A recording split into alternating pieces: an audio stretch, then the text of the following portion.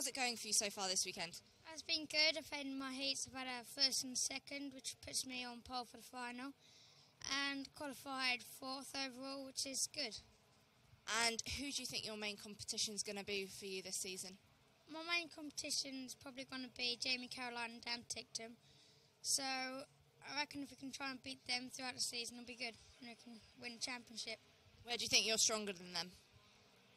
Corners, I feel quite confident and I can catch them, but they catch me back up down the straight, so hopefully I can keep it up. And we're here at PF for the first round. Have you heard about the new track extension and what do you think about that? The new track's going to be fun with a bridge. Um, we're going to have a f- quite a few overtaking places and hopefully you can get there soon. Well,